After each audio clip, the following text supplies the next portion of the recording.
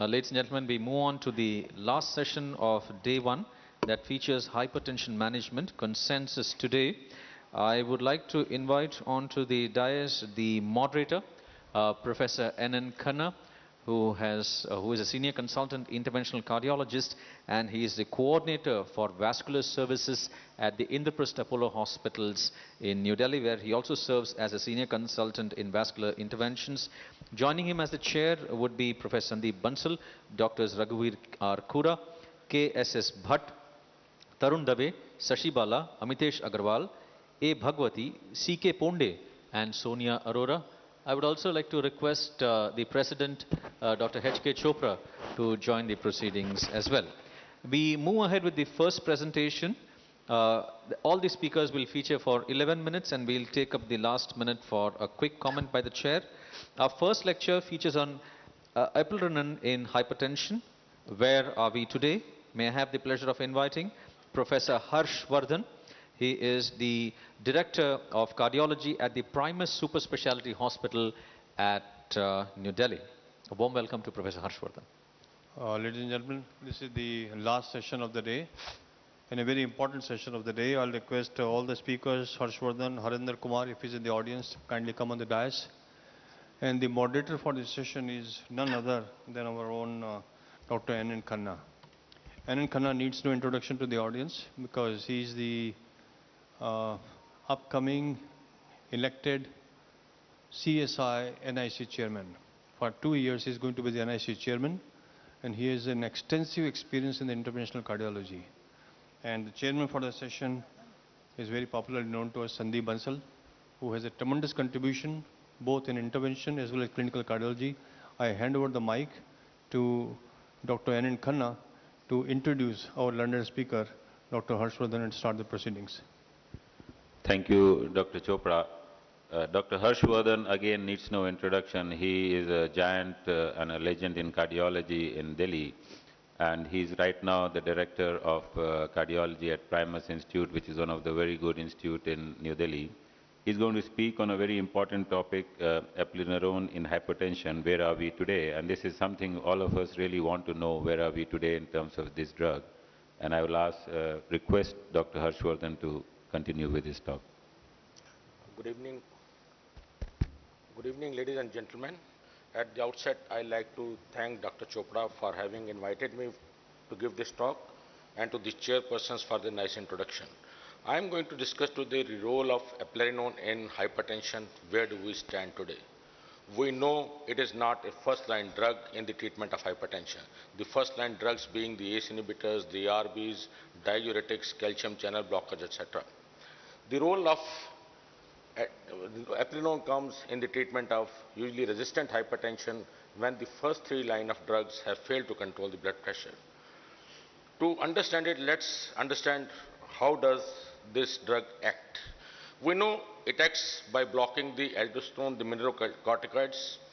Aldosterone is a potent mineralocorticoid which plays a central role in the regulation of blood pressure. It increases sodium reabsorption by amiloride sensitive epithelial sodium channels on renal cortical collecting ducts and aldosterone indirectly regulates blood levels of electrolytes and helps to maintain the blood pH. We know besides having its effects on sodium retention and potassium excretion, it has effects on the heart. It increases cardiac fibrosis, increasing vascular inflammation, it increases vascular oxidative stress, reduces vascular nitric oxide, increases cardiac apoptosis, dysregulates fibrinolysis, and increasing the sympathetic nervous system. So on the whole, the raised levels of aldosterone are not good for our heart. And the drug which blocks them is definitely going to help the cardiovascular system. Previously, we knew that the aldosterone receptors were in the kidney, but now we have recently discovered that they are also present in the brain, blood vessels, and the heart. And they have deleterious effects on the vascular inflammation and injury, prothrombotic state, potassium and magnesium loss, central hypertensive effects, endothelial dysfunction, vascular arrhythmias, sodium retention, and catecholamine potentiation, etc. So the action of aldosterone antagonists have been studied in various trials right across the continuum of cardiovascular disease. The RALES study was done in patients who had already suffered congestive heart failure. Then EPHESUS study was done with eplerenone in patients who had myocardial infarction. And then we have few studies which are now being done in patients of hypertension to see what effect it has got on the control of blood pressure. In the treatment of drugs which block the mineralocorticoids, we have a phenomena called aldosterone breakthrough, which is particularly relevant when we are using drugs like ACE inhibitors and ARBs in treating our patients of hypertension. With either an ACE inhibitor or an ARB, the initial fall in plasma aldosterone may be followed over weeks by return of plasma aldosterone concentration to baseline or even above. Patients with aldosterone breakthrough seem to have worse outcomes than patients who do not demonstrate the aldosterone breakthrough phenomena while on an ACE inhibitor or an ARB. The addition of mineralocorticoid antagonist may block the effect of aldosterone breakthrough and thus potentially improve the clinical outcomes. These are all the studies which have shown that the incidence of aldosterone breakthrough may vary from 23% to almost 50%. And adding this drug to patients who are getting already ACE inhibitors or ARB may be beneficial theoretically. This is how the aldosterone mechanism acts. Angiotensin 1 is converted, angiotensin, angiotensinogen is converted to angiotensin 1, angiotensin 1 into angiotensin 2, which acts on the aldosterone mechanism and thus acts on the sodium retention and potassium excretion as well as the cardiovascular effects. So let's see how this drug can be useful in patients treating patients with resistant hypertension. We know that the resistant hypertension is defined when the BP remains above goal in spite of concurrent use of three antihypertensive agents of different classes. Out of these, one of the three agents should be a diuretic and all agents should be prescribed at optimal dose amounts. The prevalence in various studies have been shown to be right from 20% to as much as 50%. The characteristic that may be associated with resistant hypertension are old age, higher baseline blood pressure, obesity, chronic kidney disease, diabetes, left ventricular hypertrophy, and the female sex. One must always rule out the secondary causes of hypertension like obstructive sleep apnea, renal parenchymal disease, primary aldosterone, which is occurs to the extent of 20%, renal artery stenosis, thyroid disorders, and heavy alcohol intake. As you can see in this, the incidence of primary aldosterone has been described 7 to 20% in patients with resistant hypertension. The strong associate of resistant hypertension of HbA1c more than 9, creatinine more than 1.5, BMI more than 30, and the apnea hypopnea score more than 20, that is obstructive sleep apnea. The causes of inadequate response to therapy, it may be pseudo-resistance because the patient is not taking the drug properly. There may be white coat effects or it may be because of the other drugs that the patient is taking. And one must always rule out the secondary causes of hypertension in such patients. So the mechanism of resistant hypertension can be increased vascular tone, sodium and water retention, abnormal sympathetic nervous system activity, abnormal ROS activation and endothelial nitric oxide mismatch. Primary aldosterone is an important factor in patients with resistant hypertension, those who are not responding to the first line drugs. And the prevalence is approximately 20%. In evaluation of patients at Birmingham found that 20% consecutively evaluated patients with resistant hypertension were diagnosed with primary aldosterone based on suppressed renin activity and 24-hour urinary aldosterone excretion. As we know that if the aldosterone levels increase, there is a primary hyperaldosteronism, the renin levels will come down. These are the various studies, the Seattle, Birmingham, Oslo, Prague, which has shown the incidence of 17% to 22% in patients of resistant hypertension. So a growing, growing body of evidence suggests that hyperaldosteronism contributes significantly to the development and severity of hypertension as well as resistant to antihypertensive treatment. Our work of resistant hypertension should be to confirm that it is really, really resistant hypertension, then exclude the pseudo-resistance, suggest lifestyle modification, screen for the secondary causes, and if the still patient does not respond to the th first three drugs, add the fourth drug, which is most commonly the fourth drug is a mineralocorticoid inhibitors, which may be aldactone or eplerenone. Let us see what the guidelines recommend. JNC8 recommends that aldosterone receptor antagonists should be added as fourth drug for the treatment of resistant hypertension. NICE guidelines recommend that for treatment of resistant hypertension at step 4, aldosterone antagonists should be used. US FDA has approved this eplerenone for the treatment of heart failure following myocardial infarction and it is also approved for treatment of hypertension. In Europe, eplerenone is licensed only for treatment of patients of heart failure and still it is not approved for treatment of hypertension. The effects of melanocorticoid blockade can be on the heart, blood vessels, blood pressure and kidney. On the heart, it prevents interstitial fibrosis, remodeling, reduces left ventricular hypertrophy, reduces sudden cardiac death and improves myocardial perfusion. On the blood vessel, it improves endothelial function, it attenuates the inflammatory lesions and ischemia, and on blood pressure, it reduces both systolic and diastolic blood pressure. And on kidney, it reduces proteinuria and reduces the histological damage. So this is how eplerenone acts. It blocks the aldosterone pathway. Its action of aldosterone on melanocorticoid receptors is blocked with the result that the more sodium will be excreted and potassium will be retained. The effects, the beneficial effects, the pharmacodynamic properties of eplerenone are seen on the vascular endothelium, the kidneys as well as the cardiovascular system on the vascular endothelium, it causes, it affects the systolic hypertension, it improves the endothelial dysfunction and vascular compliance. On kidney, it reduces the proteinuria and the cardiovascular system. It has been shown to cause reduction in the LV mass in patients with mild moderate hypertension and left ventricular hypertrophy. As of now, it is approved for post-myocardial infarction patients and hypertension. The half-life the Tmax is 1.5 hours, bioavailability is 69%, protein binding is 50%, it is metabolized by the liver and there are no active metabolites, half-life is 4 to 6 hours and less than 5% of dose goes unchanged in the urine and feces. In particular situations like pregnancy, there is no clinical evidence, so it should be used only if it is clearly needed. Nursing mothers use if clearly needed. Pediatric patients, it has not been studied. In geriatric patients, no benefit has been found in patients above the age of 75. In renal insufficiency, it should be used with caution because of its effects on potassium level. And in hepatic insufficiency, the drug has not been evaluated. It's contraindicated if the serum creatinine is more than 2 in males and 1.8 in females, and if the creatinine clearance is less than 50 ml. As an antihypertensive, the drug has been used in this dose of 25 to 400 milligram daily and it has been compared with placebo. There is no effect on the heart rate. At dose of 100 milligram daily, diastolic blood pressure was reduced by approximately 4 to 8 millimeters and systolic blood pressure by 8 to 12 millimeters.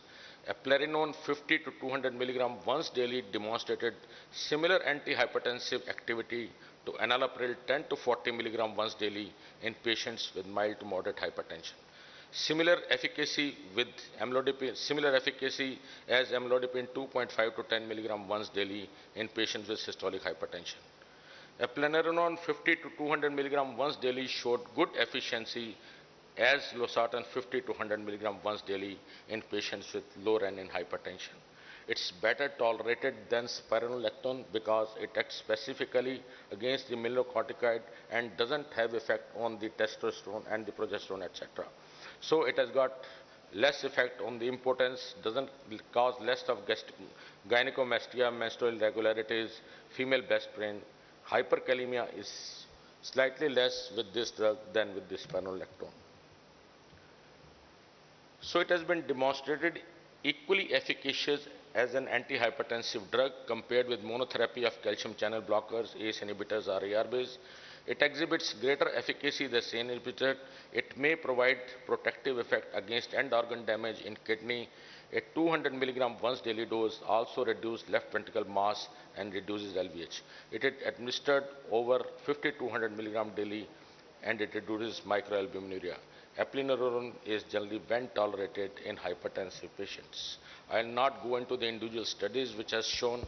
I'll just go to the summary slide and the salient feature of eplerenone are that it is a selective aldosterone blocker approved for the treatment of essential hypertension. Eplerenone reduces blood pressure effectively in patients with essential hypertension, both as monotherapy and in combination with other agents. It exhibits higher degree of selectivity for aldosterone receptors it has got low binding affinity for progesterone and androgen receptor blockers. It has got a favorable tolerability profile. It has got lesser adverse effects and it's effective and well well tolerated when used with ARBs and other diuretics. Thank you very much for your patient hearing. So that's a that's an excellent talk. Thank you. Uh, there are two uh, uh, things I'd uh, like to add to this. Uh, one is I'd like to reiterate that uh, uh, at the present time it is absolutely mandatory that we use aldosterone antagonists as the fourth line drug. Uh, in fact, I was chairing a session the day before yesterday. The European Society of Cardiology meeting just got over.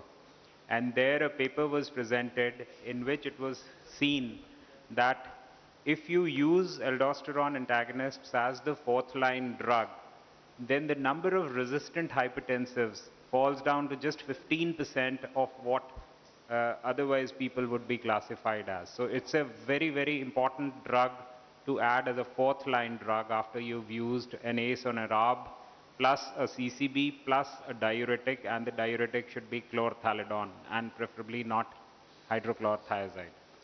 On the secondly, uh, uh, we all know that uh, the renal denervation trial, the Symplicity 3 failed. And uh, one of the important groups that they found was that if they took out the patients who had hyperaldosteronism and their aldosteronism had been treated, then they would have made a better choice. So it also helps us to identify people who would perhaps better respond to therapies like renal denervation.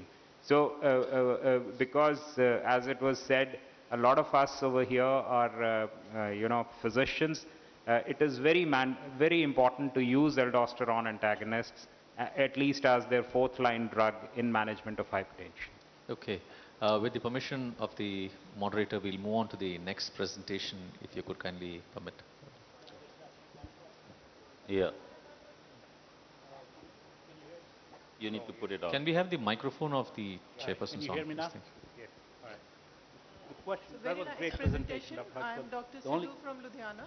Uh, Sir has already answered because my very question was, what would be your choice where you have recommended it as a monotherapy? What would be the kind of patients if you have to select it as a monotherapy? You monotherapy? see, as of now, the drug is not recommended as a monotherapy.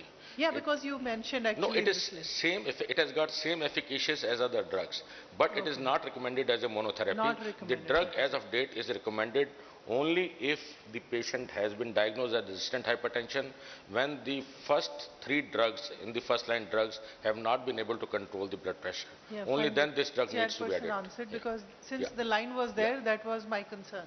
If you have a patient of renal artery stenosis and renovascular hypertension, do you think it would be a primary drug to start with? I think if a renal artery stenosis, then one has to first remove the blockage.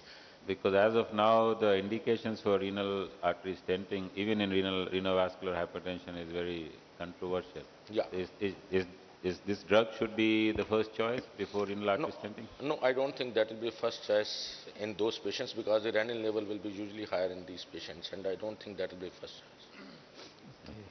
So my, my question was, if anybody is already on ACE and ARB, and if he's a diabetic, would you consider starting this medication ahead of calcium channel blockers or beta blockers in case of diabetes to prevent proteinuria? Uh, Not as of now. The evidence is not much. The trials that I've seen are usually in very small number of patients, say 67 patients, 117 patients. I think the largest trial that I saw was 165 patients. And all these trials have shown beneficial effects. And I think if we have to recommend it to the extent of guidelines, probably a larger double-blind trial needs to be done, but the drug seems to be promising and needs to be studied in such group of patients. Okay, uh, thank you, uh, Professor Harsh Wardhan.